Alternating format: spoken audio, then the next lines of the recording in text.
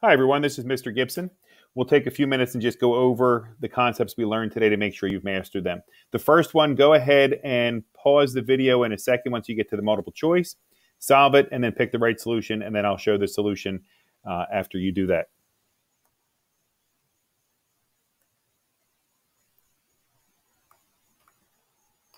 So 130% means 130 out of 100.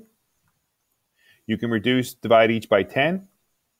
13 out of 10. The question says as a fraction or a mixed number. So this would be correct. A mixed number would be 1 and 3 tenths. So we'll go with the mixed number uh, for this one since it does say uh, mixed number. All right, go ahead then and still learning how to do my pen here.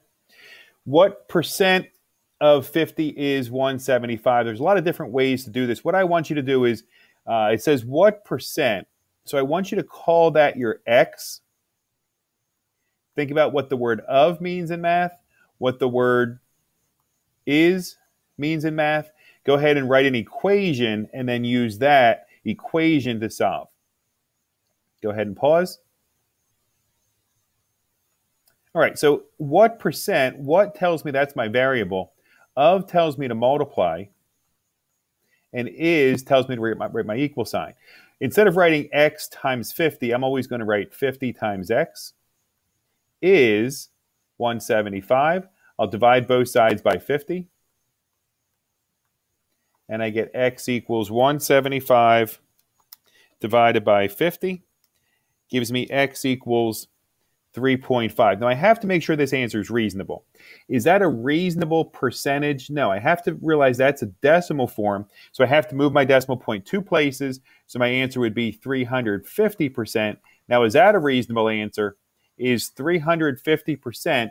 So what percent of 50 is 175? Yes, 175 is a lot bigger. Let me try to circle this better here. So 350%.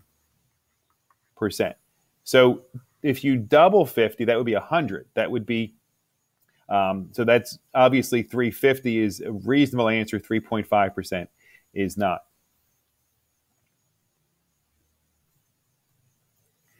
Cindy finished 18 homework problems so far. This was 60% of her total assignment. How many total problems was she assigned? We want to start by defining a variable. X is the total number of problems she was assigned. Go ahead and try to write an equation and then use that equation to solve. So it says 60% of her total assignment. X is the total. So 60% of the total is going to be 60% times, so that would be 0.60 times the total, which is X. And that total is 18 problems. So let's go through that again. So 60% of the total is, there's my equal sign, 18. So that makes sense. So we do want you to be able to take English and write it as algebra. To solve this, I'll divide both sides by 0.60. 18 divided by 0.6 gives me 30. So my answer here is x does equal 30. So 30 total problems. And the last question write an equation for this you do not have to solve. So define your variable as x. x is the number. And go ahead and write your equation. So three less than means I have to take three away from. That's really important that you get that down. So three less than two thirds of a number. If x is my number, Two thirds of that tells me to do two thirds times that number. So here's three less than two thirds the number. Is, is tells me to write my equal sign. So is 12. There is my equation.